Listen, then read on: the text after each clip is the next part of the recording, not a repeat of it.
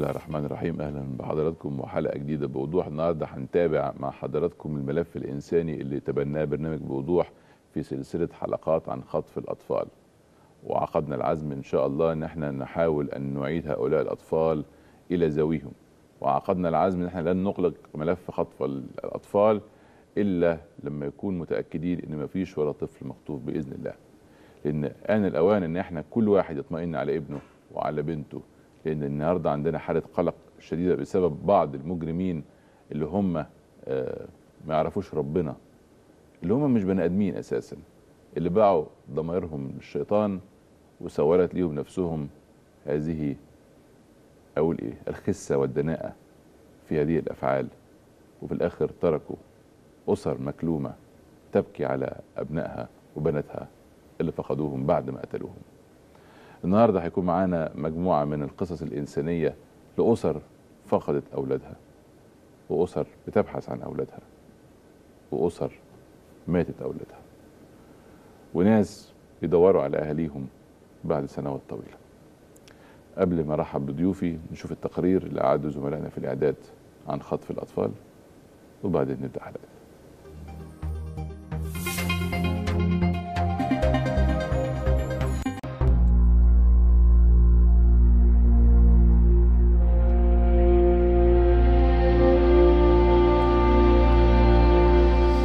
ازدادت مؤخرا حوادث خطف الأطفال سواء الرضع من المستشفيات أو الصغار من الأماكن العمومية والأسواق والمحطات. ويكون المصير إما إطلاق سراحه مقابل فدية أو قتل الطفل وتحويله إلى أعضاء بشرية تباع في الأسواق. وهو ما اعتبره البعض ظاهرة انتشرت في مصر خلال الفترة الماضية بينما يرى آخرون أنها مجرد حوادث فردية غير مرتبطة. قصص وحكايات عن اختطاف وقتل الأطفال تتداولها المواقع الإخبارية وصفحات التواصل الاجتماعي يومياً ومعها تتزايد مخاوف الأهالي من عصابات تخصصت في خطف الأطفال للمطالبة بفدية أو لاستخدامهم في التسول والأعمال غير المشروعة أو لقتلهم. وطبقا لإحصائيات المجلس القومي للأمومة والطفولة فقد حازت حالات الخطف والإتجار بالأطفال أعلى نسبة من إجمالي حالات العنف بنسبة 37% تلتها حالات قتل الأطفال بنسبة 22% بغرض الإتجار في أعضائهم البشرية. وفي السياق ذاته أفادت إحصائيات لمنظمات حقوقية بأن حالات العنف الموجهة ضد الأطفال بلغت 274 جريمة سنوياً أدت إلى قتل ووفاة 149 طفل. وبالتالي فإن أكثر من نصف الأطفال الذين تعرضوا للعنف توفوا. وأضافت الإحصائيات أن حالات بيع الأطفال المرصودة بلغت ستة حالات سنوياً بينما تم رصد أربعة حالات كعنف رسمي وبلغت حوادث قتل الأطفال العمد عشرة حالات وبلغت جرائم خطف الأطفال 25 حالة.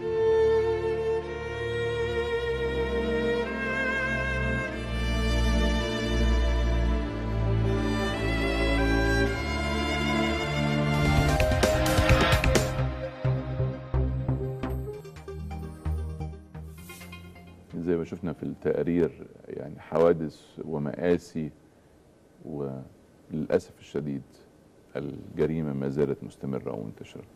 برحب بضيوفي الأستاذ هشام شارف عبد الحكيم والد الطفل المرحوم محمد هشام. أهلا بحضرتك. وبرحب بالأستاذة فوزية أحمد السيد والدة الطفل المرحوم المقتول كامل. وابدا بحضرتك وأسمع الحكاية. اتفضل. الحكاية إن كامل إحنا ساكنين في رود الفرج فأنا كنت عند والدي فكامل رجع البيت فالمتهم ده خده معاه إن هو يجيب حاجات للمحل وكده. اكتشفت بعد اختطاف ابني بأسبوع إن هما بيقولوا إن هو موته ورمى في البحر.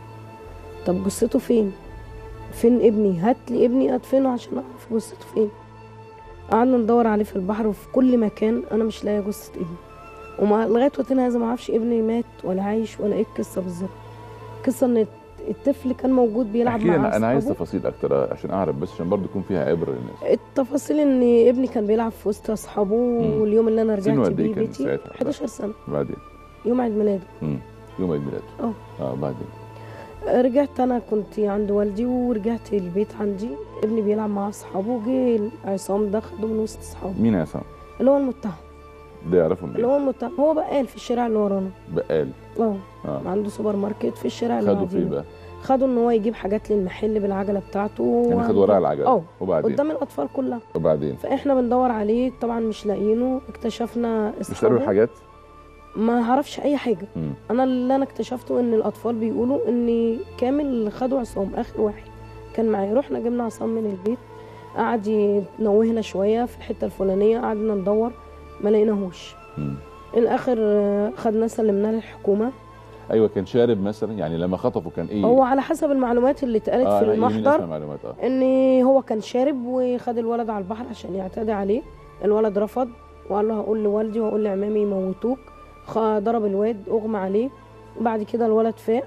قعد يطبطب فيه ومش عارفة إيه.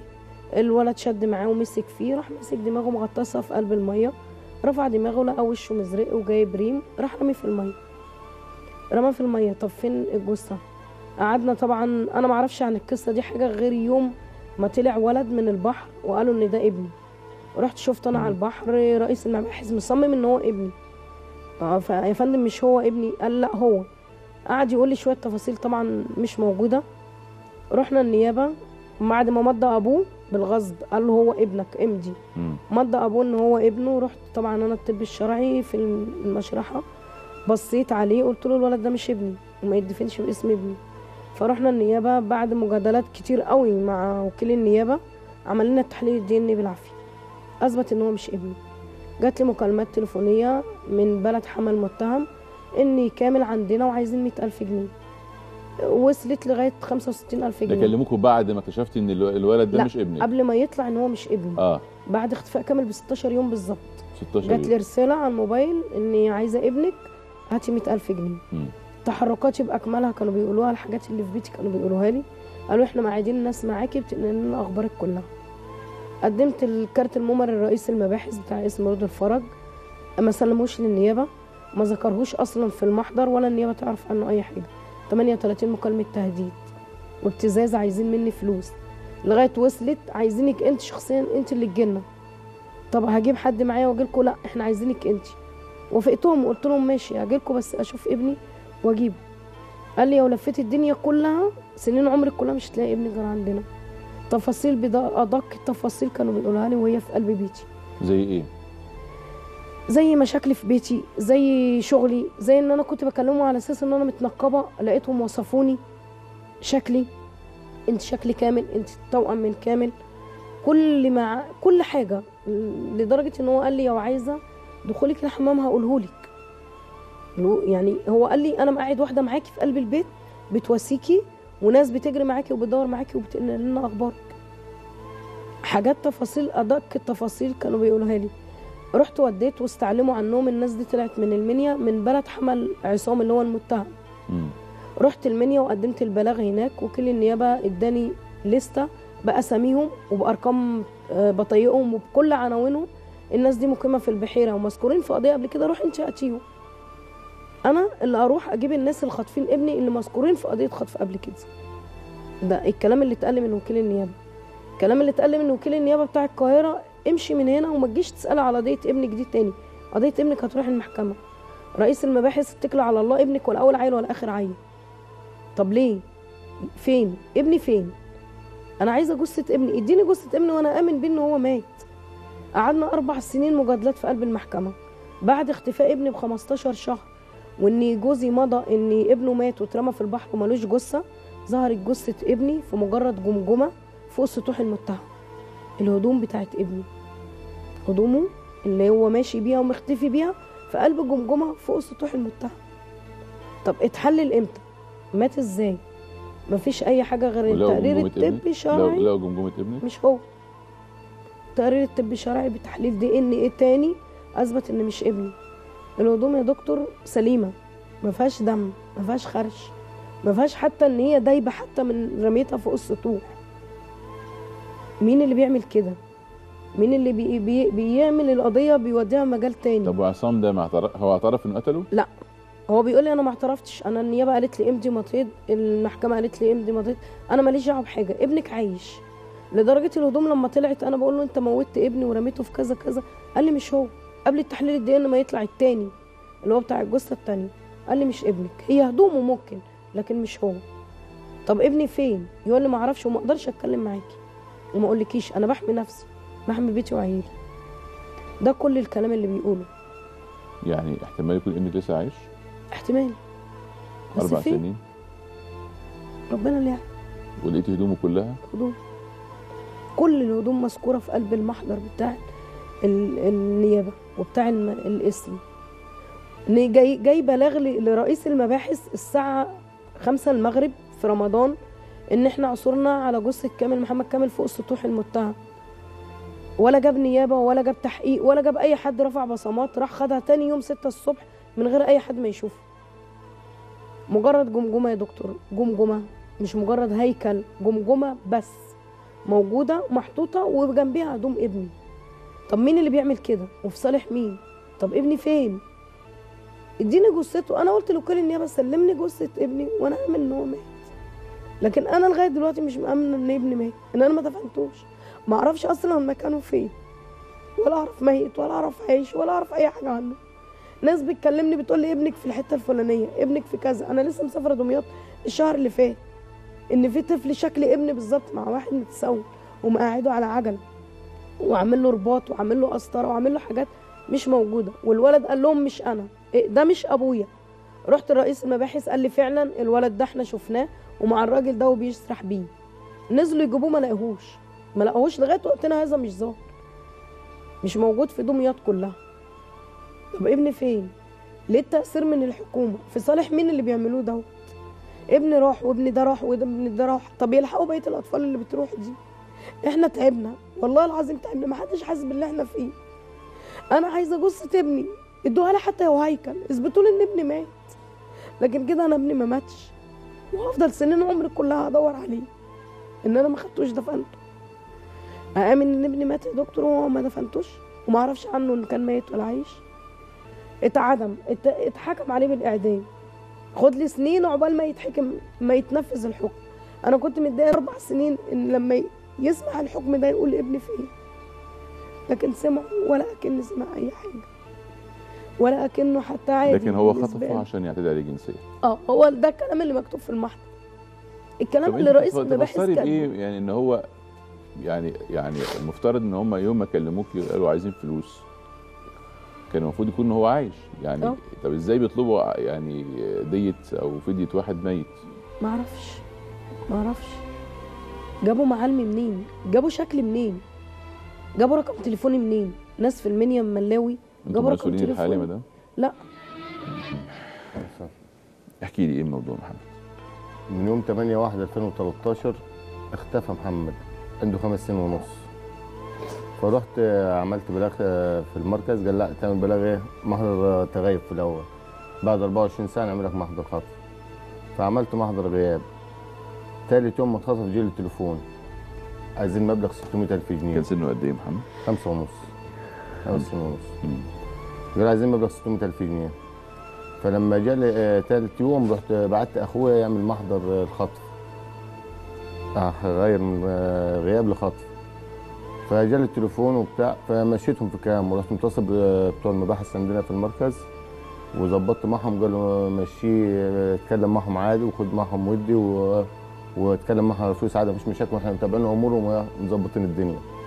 حاضر. فضلت معهم إيه مرضاش برضه أشد شوية وأرخي شوية عشان إيه ما يقلقوش ولا يشكوا في حاجة.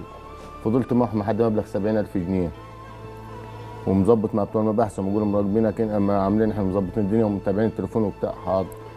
فضلت اليوم اللي هسلم فيه المفروض يعني خلصنا بالليل المفروض تاني يوم نسلم اتقفل التليفون خالص. نهائي. فضلت استنيت اليوم كله محدش رن عليا رحت رايح بتوع المباحث قلت له حضرتك وصلت ليه التليفون بتاع إحنا ما وصلناش لحاجة إحنا ما عملناش حاجة أصلا. قلت له يا لو ما عملتش حاجة طب ما سبتنيش أنا يجيبوا ليه بالفلوس.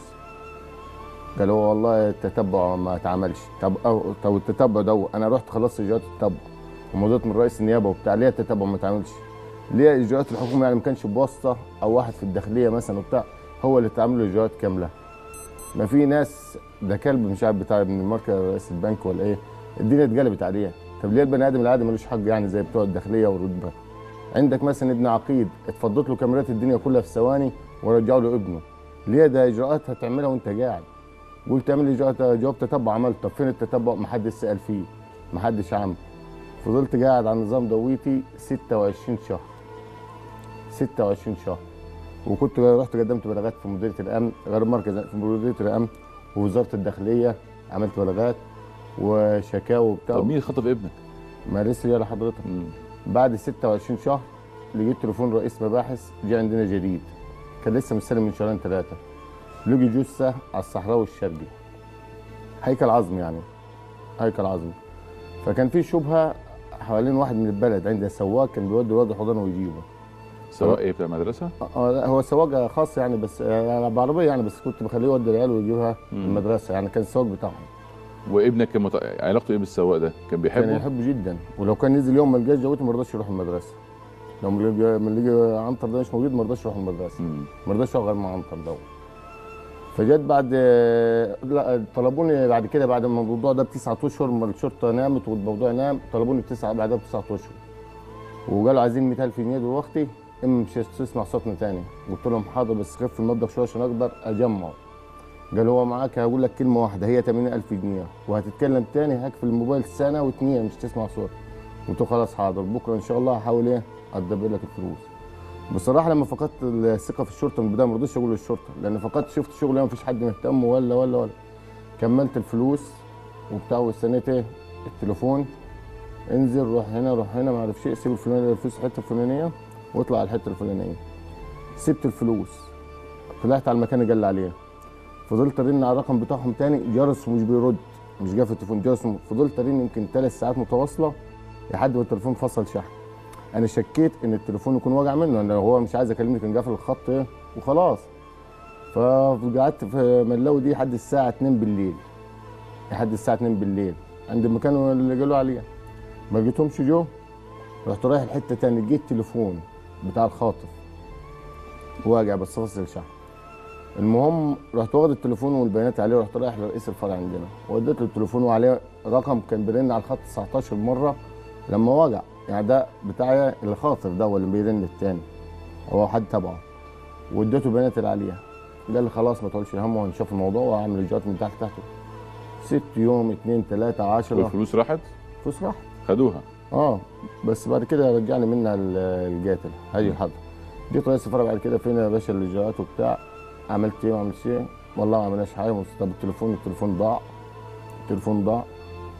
طب حضرتك يعني حتى ما عنديش ورق رسمي عشان أقول لو بقيت أقول على رئيس فرع ما حدش هيصدقني. ده هيلبسوني أنا القضية مش هيتكلم طب يا باشا دلوقتي أعمل إيه؟ قال آه ربنا يسهل. سكت الموضوع. بعد جه رئيس مباحث بصراحة عندنا في ملاوي عنده ضمير. مسك الملفات وبدأ يشتغل وبتاع. فجاله بلاغ إن في جثة هيكل عظمي على طريق الصحراوي الشرقي الأول. فراحوا عشان يشوفوها. لقوا المواصفات بتاعت يعني أنا عرفت من اللبس. اللبس اللي لابسه اللي هو اتخطف بيه هو نفس اللبس. فلما يقول لي عندي جثة أنا كأنك لابس إيه قلت له لابس كذا كذا كذا كذا. بالترتيب اللي هو لابسه قال لي طيب آه، في جثة ايتي شوف كده. لقيت اللبس قلت له هو يا باشا بس برضه زيادة التأكيد تشوفوا أمه عشان هم اللي ملبساه حوله خدوه المشرحة ورحنا المشرحه جبت أمه اتعرفت عليه هو. وقبضوا على القاتل دويتي عملوا تحريات جابوا؟ عنتر دويتي السواق. السواق. عنتر ده كانش حيلته حاجة. ما كانش حيلته حاجة. كان شغال سواق بالأجرة. فجأة بعد الفلوس بشهرين كده أو بشهر ونص اشترى عربية وحتة أرض صغيرة في البلد يعني بالفلوس بتاعتي.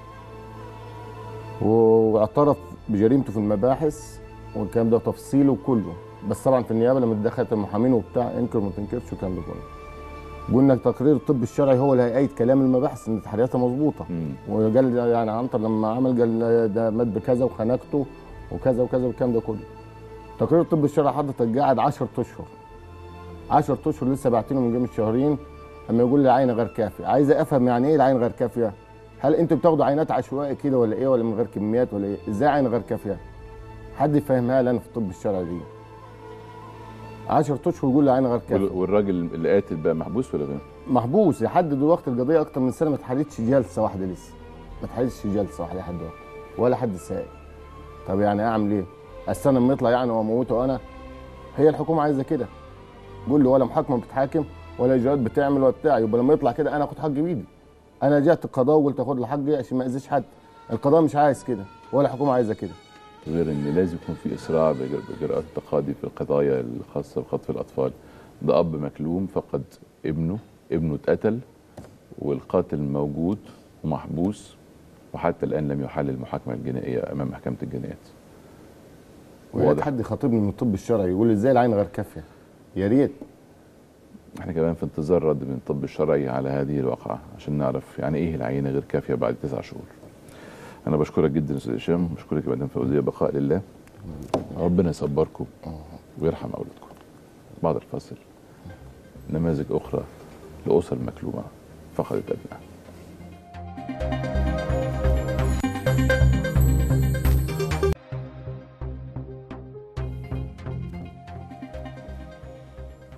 أهلا بحضراتكم مرة تانية ويمكن إحنا مستمرين في هذه الحلقة يمكن الفقرة اللي فاتت شفنا فيها آه، أب وأم مكلومين فقدوا أبنائهم اتقتلوا قتلوهم الخاطفين.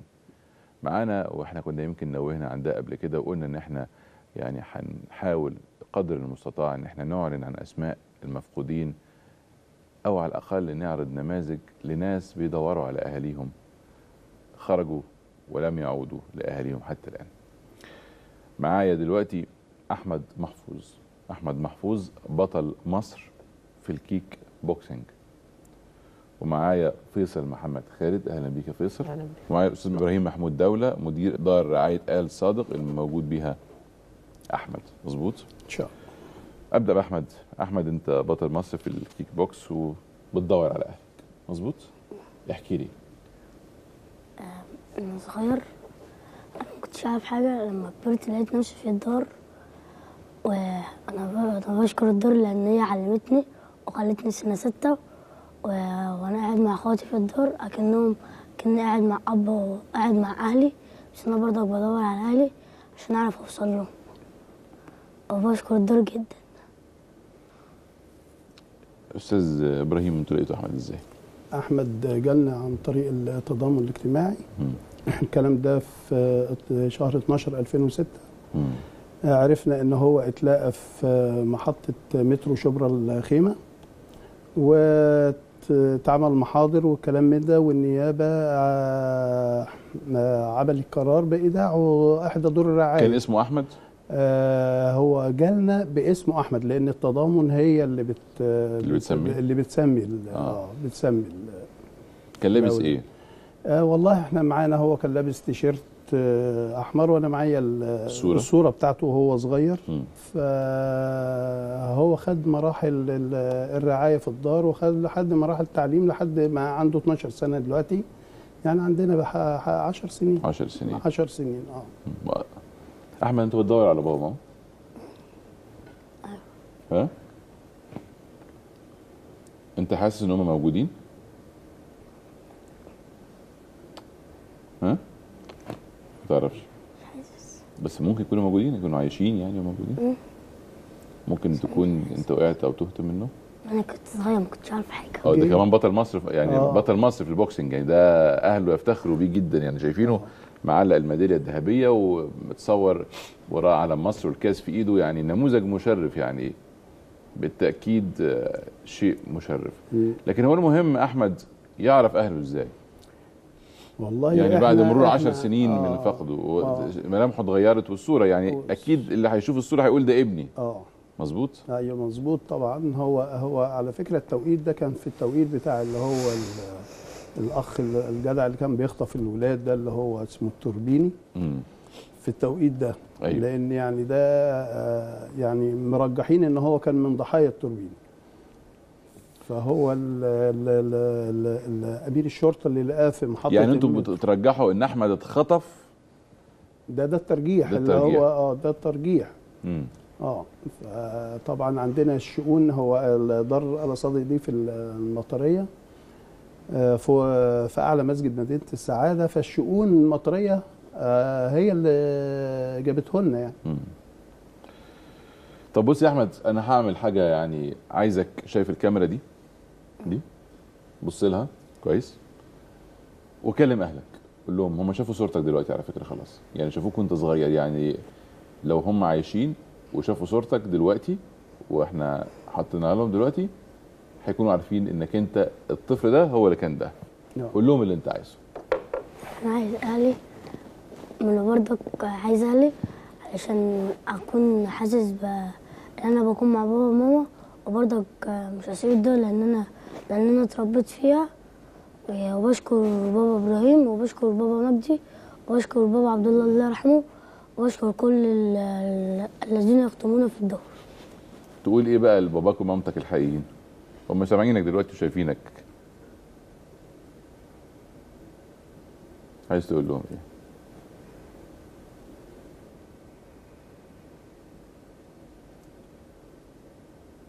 عايز تقول لهم إيه؟ تقول لهم افخروا بيا إن أنا بقيت بطل؟ عموما أحمد ظهر قدام حضراتكم إحنا حطينا صورته لما كان طفل صغير. النهارده أحمد بقى عنده تقريبا 12 سنة يدور على أبوه وأمه. فقد ولقوه في 1 ديسمبر عام 2006 في محطة مترو شبرا الخيمة. وكان ساعتها عمره صغير عنده سنتين. كان لابس سويت شيرت أصفر. وبنطلون جينز بني وحذاء كاوتش كحلي. أي أب وأي أم فقدوا ابنهم من عشر سنوات أو اتخطف منهم ابنهم أنا بقول لهم ابنكم أهو. اهو ده هو صغير ودلوقتي هو كبير. واللي عايز يتواصل يكلمنا على البرنامج. مبسوط في الدار؟ مبسوط إنك أنت بقيت بطل بطل مصر في ال boxing؟ فيصل حكايتك يا حبيبي. أنا كنت صغير. كان آه، حصل آه، مشكلة يعني بين والدي ووالدتي. فكنت عندي ست سنين. فنزلت ماشي في الشارع عادي. ففي واحد هربت من خدني البيت يعني؟ آه. سبت البيت. كان عندك كام سنة؟ ست. ست سنين. في واحد ماشي في الشارع عادي. في واحد خدني. وداني اسم ازبكيه من اسم أزبكية حولوا لي الدار هنا في شبرا في شارع لوفتين جامعة التربية الإسلامية. مم. الجمعيه دي أنا كنت قاعد فيها ومبسوط وكل حاجة. تميت 16 سنة راحوا ممشيني. ليه؟ يقول لك أنا سني كبر راحوا موديني فين بقى؟ مؤسسة اسمها تاتا في جامعة القاهرة. طبعا المؤسسة أنا ما ارتحتش فيها ولا قعدت يوم واحد ومشيت فرجعت مكان اللي هو شبرا تاني دي صورتك وانت صغير؟ آه طب أهلك اللي انت سبتهم راحوا فين؟ ما تدورش عليهم؟ لا ما أنا اللي أنا فاكره اللي أنا من الفيوم أنت مش فاكر أنت أساسا آه, آه. آه. مم. تمام أنت من الفيوم يعني أهلك موجودين في الفيوم هو بس اللي خلاني نزلت اللي بابايا ضرب مامتي بالسكينة في ظهرها امم فده اللي مشاني. وبعدين يا فيصل؟ بس فرجعت شبرا تاني. فأنا حاليا دلوقتي والله قاعد مع أبو واحد صاحبي في جراج. فاللي هو اللي أنا مش مرتاح يعني في الدنيا. عايز إيه؟ أنا حبيت أطلب بس إيه مكان أقعد فيه. إن شاء الله لو اوضه ولا عايز ترجع لأهلك؟ وأرجع لأهلي برضو الحمد لله يعني لو لقيتهم. يعني وحشوك؟ أكيد آه. فاكر أبوك وأمك. أنا بقالي 11 سنة في شبرا طيب يعني دي حالة فيصل محمد خالد. إحنا بنخاطب أهالي الفيوم. يعني كاميرا لو تقطع على صورته لو سمحتوا حطوا صورته وهو صغير. لو في أي حد يعرف الطفل اللي قدامكم ده فيصل محمد خالد خرج من بيته وكان عمره ست سنوات والكلام ده كان من عام 2004 مظبوط؟ يعني من 12 سنة. لو أي حد اتعرف على الصورة دي أنا عايز أقول لكم إن الطفل ده أهو قدامكم دلوقتي أهو. هو ده. أي حد من أهالي الفيوم يتعرف على هذا الطفل إن هو بيقول إن هو من أهالي الفيوم. الولد دلوقتي متبهدل بعد ما خرج من دار الرعاية وأنا ما أعرفش إيه القوانين العقيمة دي اللي تخرج طفل ما زال يعني لم يبلغ سن الرشد نطلعه ونقول له اطلع للشارع بعد ما جبناك من الشارع. أنا ما أعرفش القوانين دي إذا كانت عاجزة تتعدل. لكن ما ينفعش ابدا أطلع طفل في السن ده لمجرد إن القانون بتاع التضامن الاجتماعي بيقول يطلع من دور الرعاية بعد سن 17 سنة. ما ينفعش بأي منطق ما ينفعش. لكن ما علينا اللي بتكلم فيه دلوقتي الطفل قدامك أهوت لو أي حد من أهالي الفيوم تعرف عليه تواصل مع البرنامج هحط لك رقم تليفون البرنامج نزله يا أحمد لو سمحت عشان خاطر اللي يعرف فيصل اللي يعرف أحمد إحنا عندنا تواصل معاهم هنقدر نوصلكم بيهم. أنا واثق إن أي أب وأي أم حتى بعد 20 سنة. مجرد يتأكد إن ابنه يعني إحنا كنا بنشوف أم بتقول أشوف جثة ابني عشان أتأكد إنه مات. إحنا بنقول لك لأ ابنك الحمد لله أهو عايش. أهو أحمد عايش. شوفوهم اللي يتعرف عليهم يبعت لنا. الحالات المشابهة اللي زي أحمد وفيصل قد إيه تقريبا عند حضرتك؟ إحنا عندنا في الدار 28 طفل. أحمد الوحيد اللي هو آه، جه تايه من أهله أو جه عنده سنتين. إحنا عندنا بقية ال 27 دول جم الدار وهم عندهم أسبوع أسبوعين. فدول التضامن حولتها لينا. وهم في- في سن صغير خالص فبالتالي يعني ما, ما يعني آه، ما فيش مش تايه يعني. ده, ده بقى حاجات آه، تانية يعني أو آه، لقيط بقى أو أو يعني آه. لكن دول ليهم أسر. دول ليهم أسر والمفروض إن هو حد يتعرف. هو إحنا جالنا واحد في ال في ال في الدار ما حاولتوش تحطوا صورهم قبل كده صورة أحمد؟ لا نزل نزلت أول ما جه احمد وهو في صغير اتحط كان في القناة الثالثه ساعتها في القناة التنويه عن المفقودين. وحطينا صورته وكان في ال- الجرايد وعملنا تنويه في الجرايد كمان. بس ما حدش ما حدش جه للأسف أتمنى آه. إن الحلقة دي تجيب نتيجة وأنا أنا بشكرك جدا آه،. وإن شاء الله يا رب أهاليكم يشوفوكوا ويتعرفوا عليكم وترجع لبابا وماما وترجع لبابا وماما إن شاء الله وبشكرك جدا إبراهيم بيه الحقيقة على المجهود اللي أنتم عاملينه في دار الرعاية هناك والله إحنا يعني مجرد يطلعوا بطل. زي ده ده شيء يتحسب. ده هو واخواته الحمد لله كل يعني معيشينهم في جو أسري. الحمد لله. يعني الحمد لله. الحمد لله. ده مجرد جايبين تيتا كمان ليهم ست يعني. فاضلة آه، معيشينها معاهم. ربنا يكرمك. ربنا أنا بشكرك. جدا. يعني بعد. الفاصل حالة إنسانية تستحق إن إحنا نقف قدامها كتير.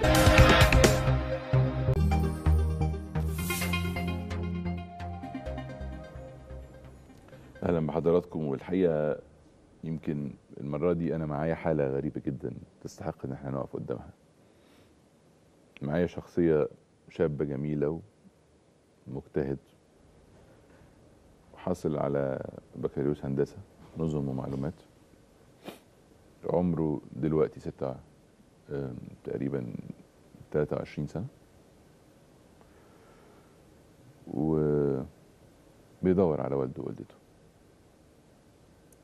خليني ارحب بالمهندس هاني النبيل مهندس نظم ومعلومات أهلا بيك يا باشمهندس. أهلا بحضرتك وارحب بالأستاذ أحمد الجزاوي مؤسس الصفحه الرسميه للأطفال المفقود. أهلا إيه يا باشمهندس؟ ازي حضرتك ساكن. إيه الحكاية؟ مفيش هو أنا أنا اسمي هاني نبيل مجدي. تمام؟ أنا عندي اسمك الحقيقي؟ أنا ما أعرفش الاسم ده حقيقي ولا مش حقيقي. أنا ده الاسم اللي مكتوب في شهادة الميلاد ال- المتاحة اللي موجوده معايا. المفروض إن أنا على حسب الشهادة إن أنا مواليد ألماظة. آه، اللي مكتوب في الشهادة البيانات المكتوبة الله أعلم هي هي حقيقة ولا مش حقيقة تمام؟ آه، أنا كنت آه، عايش حياتي عادي خالص ما بفكرش إن أنا أدور ولا بس كان ليا زمايلي منهم واحد كان تابع مع ال- دي صورتك وأنت صغير؟ آه دي صورتي دي صورتي وأنا صغير تمام؟ أنت لو كنت فين؟ لا هو البداية أنا ما أنا كنت في دار اسمها دار الطفل بن صوح تمام؟ الدار دي سلمتني ل... ل... ل... لأسرة بديلة سنة آه، 94 16 1 94 تمام؟ آه، كانت الأسرة دي كان ال- الوالد كان ضابط و... واسمه محمد مختار عبد الفتاح تمام؟ كانت حرمه اسمها الأستاذة أميرة محمد كامل. هم كان عندهم ولد اسمه مؤمن وأنا التاني كنت اللي هو بالتبني. بعد كده ربنا كرمهم ببنت فودوني ل- لجمعيه آه، قرية الأمل. آه، من هنا عشت برضو حياتي وعادي خالص ما فيش أي حاجة. وصلت لس- لسن معين كملت دراستي. آه، صرفت على دراستي برضو آه، في جامعة خاصة. مين آه، صرف عليك؟ أنا آه، كنت بصرف آه، في الجامعة الخاصة بجزء وكفيل بجزء. كان كفيل ده متواصل معاه لحد النهارده هو اسمه أستاذ إسماعيل إبراهيم هو محامي. تمام؟ الناس دي أنا متواصل معاها لحد دلوقتي هو واخدني كابن بالتبني برضه هو والحاجة فريده حرمه والأسرة كلها يعني مش محسسني بحاجة. بس الفرق إن أنا بدور على البداية الأصل. أنا كنت إيه؟ أنا وصلت لإيه؟ طب أكيد أنت عندك معلومات عن البداية. أنت كنت فين؟ لقوك عندك كام سنة وفين؟ أنا ما يمكن اللي بيشوفك يقدر يتعرف عليك. أنا رحت آه، سألت في الدار. تمام؟ أنا الأول تابعت مع أستاذ أحمد الجزاوي جالك على. الصفحة عندك أحمد. هو أصلا هاني صديق للمهندس أحمد اللي لسه راجع من أسبوع لأهله. مم. آه، هاني ما خدش الخطوة دي إلا لما شاف أحمد رجع وسط أهله. آه، كان شخص عايش آه، بدون أهل خالص. دلوقتي ما شاء الله من من أكبر عائلات آه، الصعيد عائله رحومة. آه، محمد اسمه محمد عبد الله رحومة دلوقتي. آه، ما شاء الله عنده يعني أعمام كتير جدا وخلان والبلد كلها استقبلته. هاني لما شاف أحمد وسط عيلة وسط أسرة وإن آه، ممكن قرار إن هو يطلع ينشر صوره في الصفحه عندنا إن هو ده ممكن يغير حياته كلها. هي دي الخطوة اللي خلت هاني فعلا ياخد ال- الجرأة دي وإن هو برضه ينشر قصته وإن هو يبدأ يبحث عن أهله من أول وجديد. طيب هاني قول لي بقى لما رجعت للدار اللي أنت أول دار دخلتها بعد ما كنت آه، مفقود أنا قالوا لك لقوك فين؟ وكان سنك قد إيه؟ ولابس إيه؟ ولا أي معلومات.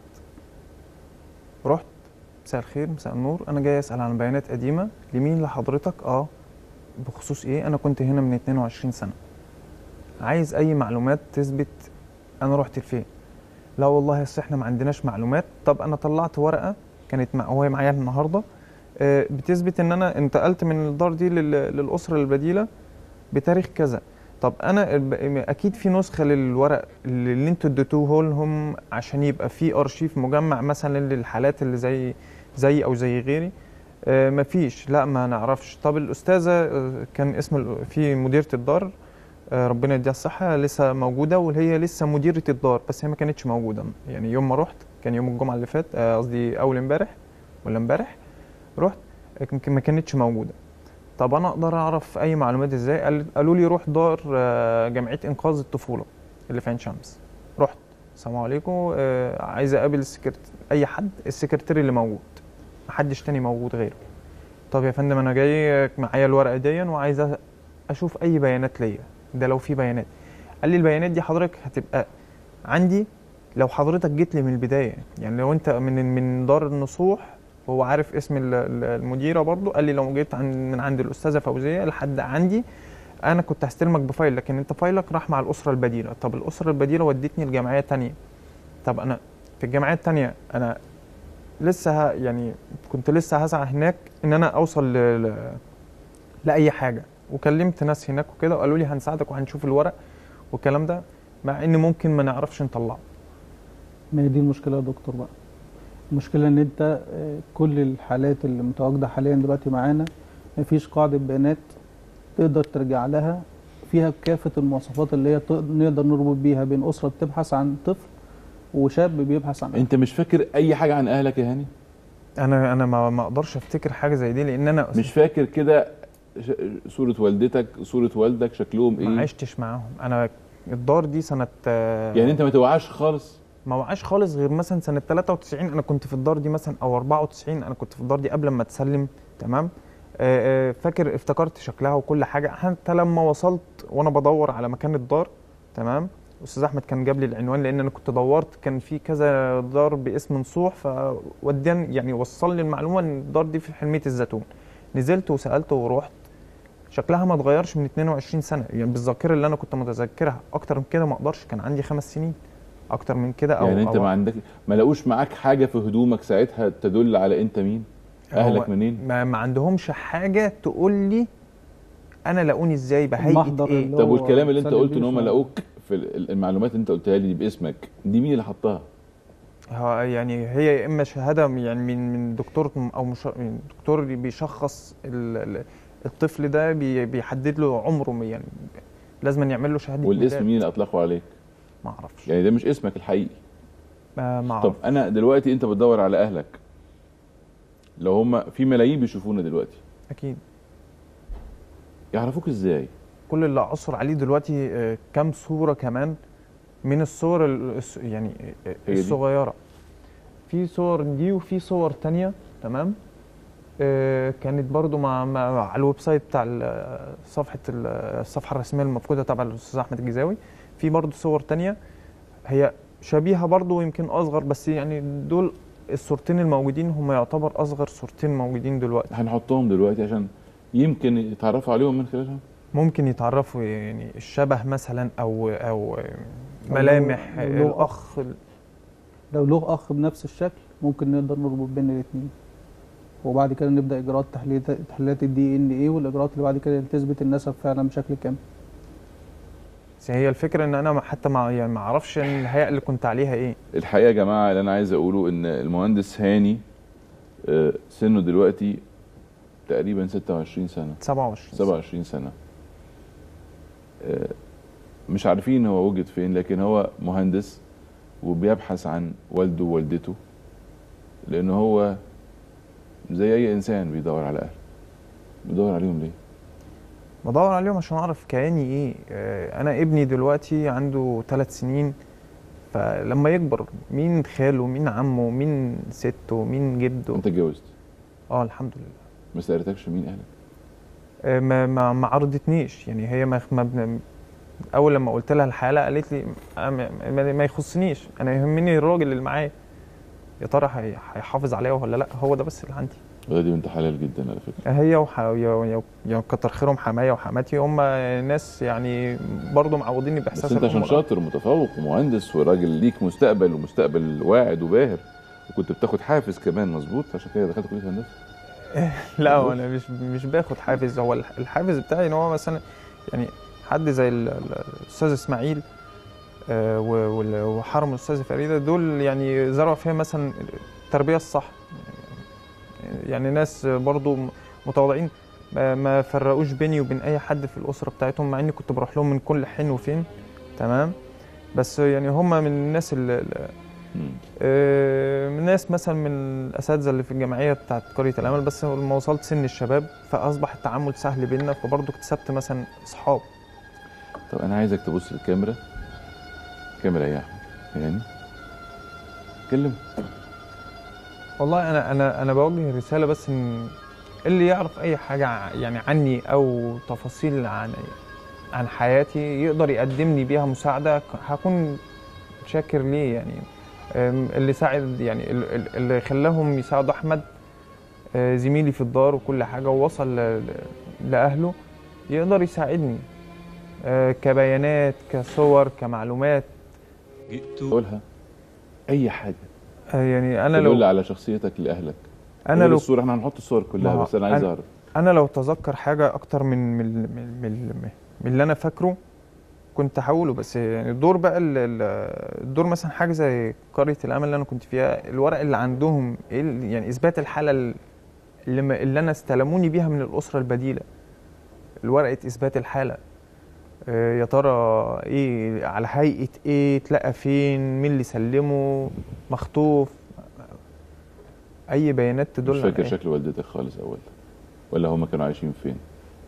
ده ده مع يعني معلومات ما لسه ما وصلتلهاش أساسا. تقديرك إن هو اتخطف ولا كان تايه؟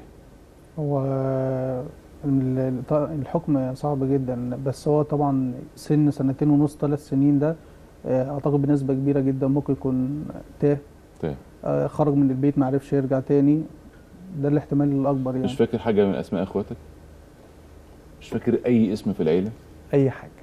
إحنا بندور عن أب وأم لشاب ناجح مهندس في 90 مليون. وما عندناش أي بيانات عنه. وما نعرفش عنه أي حاجة لأن هو نفسه ما يعرفش أي حاجة عن نفسه. لكن لا نمتلك غير صور صغيرة على فكرة عايز أقول إن الصور للطفل في سن البدايات اللي هي 3 و4 لغاية 7 8 بتبقى تقريبا قريبة كده.